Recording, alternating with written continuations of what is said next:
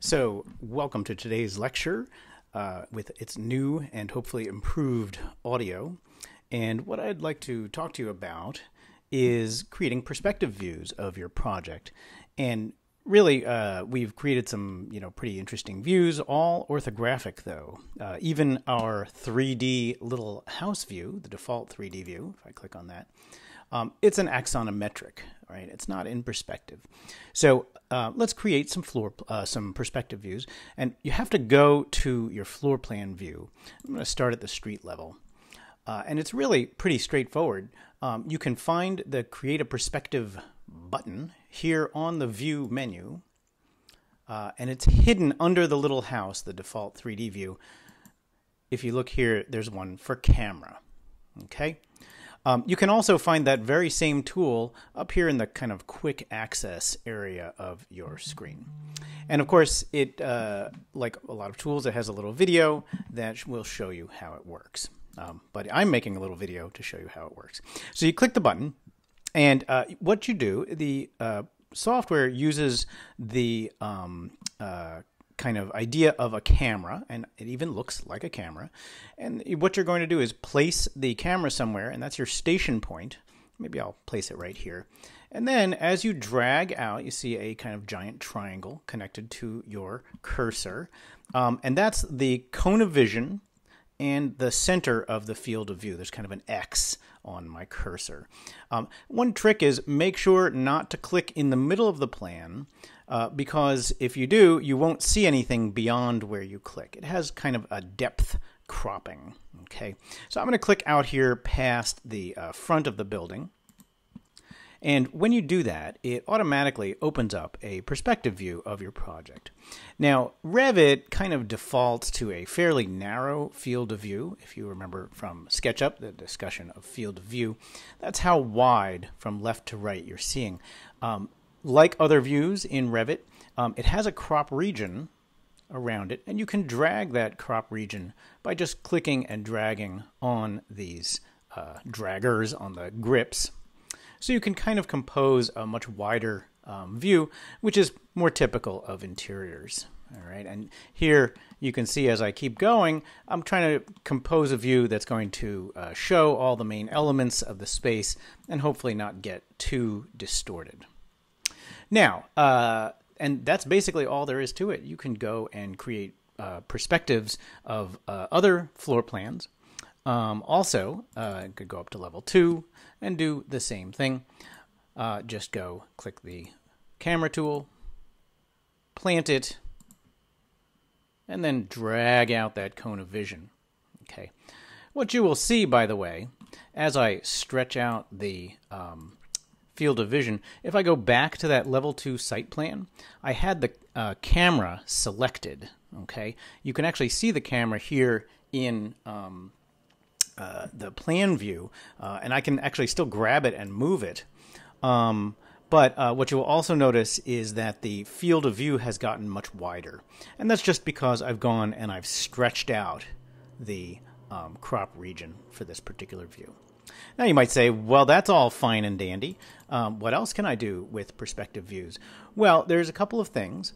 Um, first of all, uh, perspective views, I'm going to uh, want to um, kind of modify the way these look. Right now, they are just what's called a hidden line view, which is to say it's basically white. Um, and anything solid blocks out stuff behind it.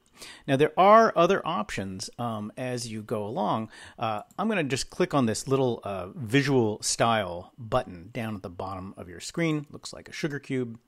Um, we're using hidden line. There's a couple of other ones. Uh, we could go with um, wireframe, which is kind of a cool view. Um, it's interesting to be able to see through objects. You can also go with a shaded view, which kind of starts to add colors. And I'm not so sure I'm excited about colors yet. We haven't learned how to do that. And you can see here there's a couple of other ones um, that also deal with colors. Again, until we apply materials, those aren't going to be very useful. So I'm just going to stick with hidden line. But what I will show you is there are a few fun things you can do to make this a little more um, interesting. Again, I'm going to click the little sugar cube for view options, and up top there's a graphic display options uh, menu here that we can open. Um, and what this does, it has a number of different um, kind of features that we can turn on and off. Okay, now, first of all, there is an X-ray view uh, that we saw earlier where everything is transparent.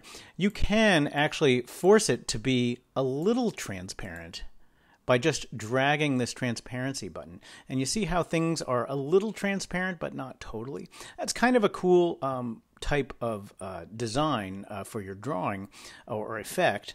Sometimes it doesn't work, but sometimes you can create some interesting effects um, or use it as a layer in, say, Photoshop when you're composing your drawing. Um, also, there's this smooth uh, lines with anti-aliasing. This is really great when you have curves. Um, that's a good one to turn on. We won't see any difference here because we don't really have any curves. Um, there's other ones. Um, cast shadows. If I turn that on and hit apply, what you'll see when my computer's done thinking about it is some shadows show up kind of by the front window. Oh, now in this case, it looks like it's too early in the morning for the sun to come directly in my space. So I'm not even getting shadows in here just now. So sometimes that's not a great one for interiors, but this one, the ambient shadows, does actually look pretty nice sometimes. I'll check that. And what you'll see, it kind of adds um, a little sense of uh, gradient along most surfaces. Okay, so that's a fun one to fiddle around with. Uh, there's a couple other ones in here. Um, sketchy lines is an is one that I, you know, honestly, I don't like the way they look as uh, much as I do with SketchUp, um, but it is one that you can fiddle around with. I'll drag those up, and of course, it, depending on how much detail you have in your drawing, um, let me just click OK. Zoom in on this a little bit. Uh, depending on how much detail you have in your drawing, uh, this can be a more or less successful um, type of style. This isn't too bad. There's not a huge amount of detail in this particular drawing either. Okay, so uh, that's uh, a couple of graphic display options um, for you to fiddle around with.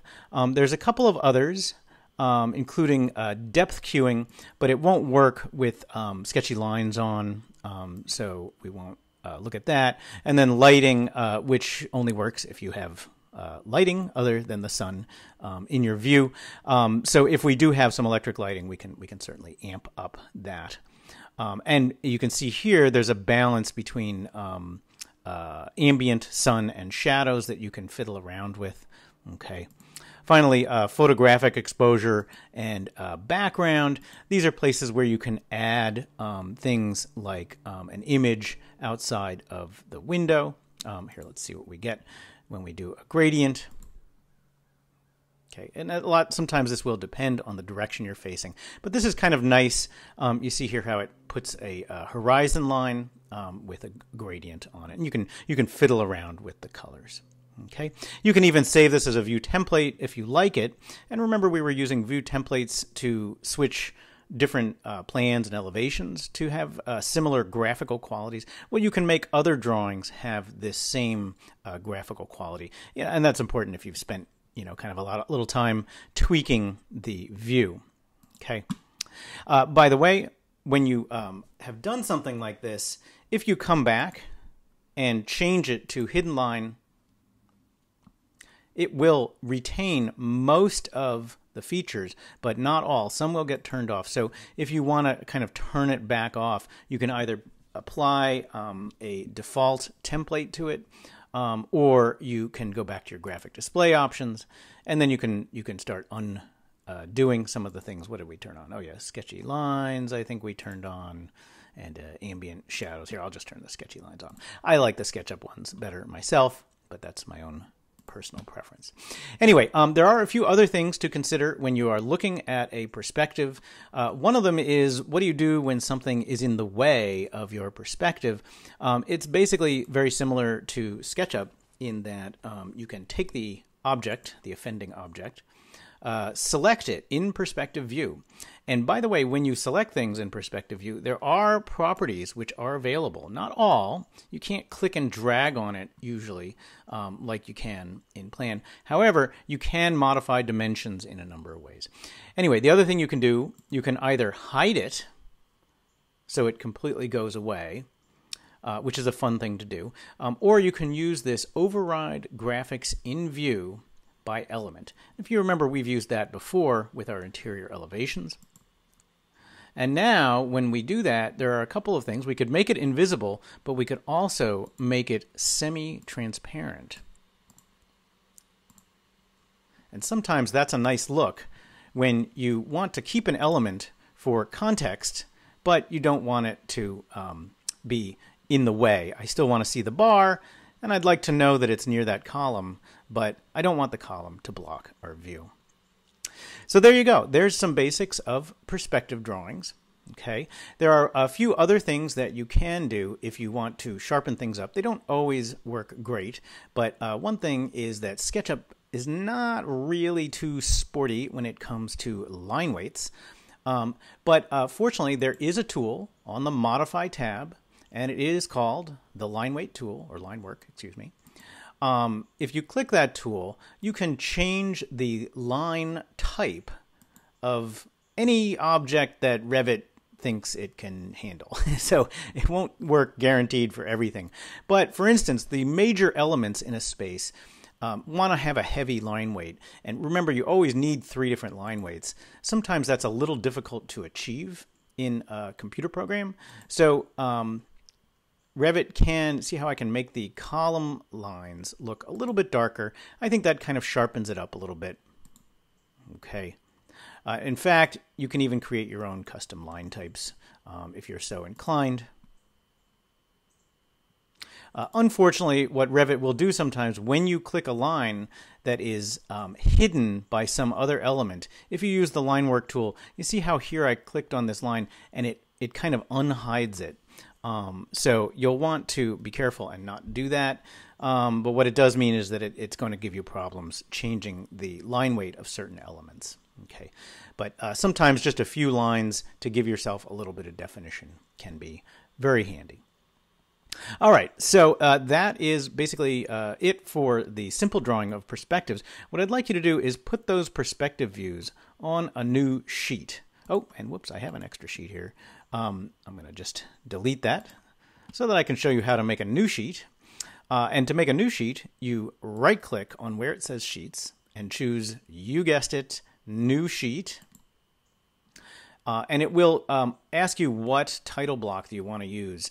Um, and uh, obviously, if you've created your own custom title block, it will recognize that and use that one. So I'll use that one. Um, oh, and I still want to get an A, apparently. Uh, to draw uh, these perspectives, uh, drag these perspectives onto your um, sheet, it's pretty easy. You just click and drag like you did before. And you can see they come in as created. And I'll drag this other one in here. Now, you might say, but wait a second. I want to fill the sheet with these drawings. Oh, and I didn't change the properties of that one. Um, how do I make these bigger? There's no way to click and drag on it. Well, let's go back to the perspective view